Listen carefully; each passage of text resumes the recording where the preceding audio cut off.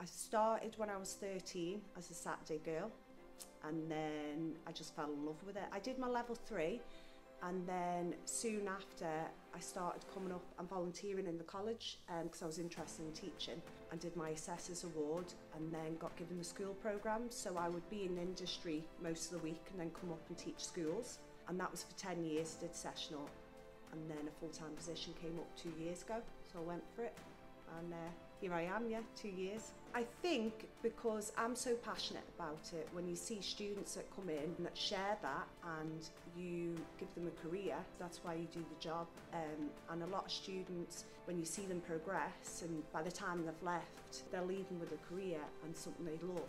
It's, it's great.